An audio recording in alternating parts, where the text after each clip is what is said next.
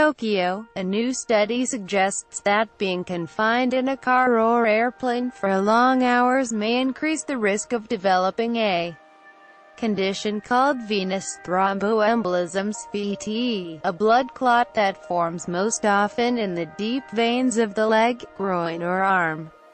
In order to assess the impact of remaining seated in cars for extended periods of time, the investigators gathered data from the aftermath of the Kumamoto earthquakes that struck Japan in April 2016. They found an epidemic of blood clots developing in the legs, and in numerous cases going to the lungs, in many of the people forced to evacuate, according to the study published in the Canadian Journal of Cardiology Analysis of questionnaires from 21 local medical institutions established that 51 patients were hospitalized following the earthquakes due to VTE. Of these, 42 patients, 82.4%, had spent the night in a vehicle. Preventive awareness activities by professional medical teams, supported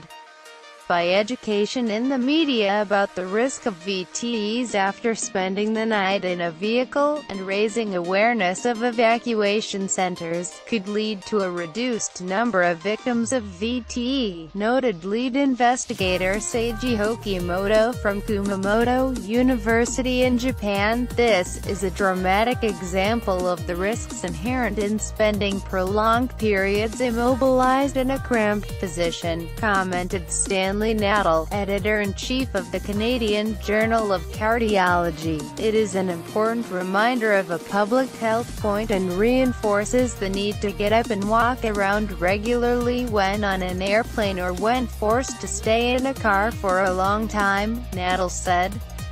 Thrombus Medicine Read full story more help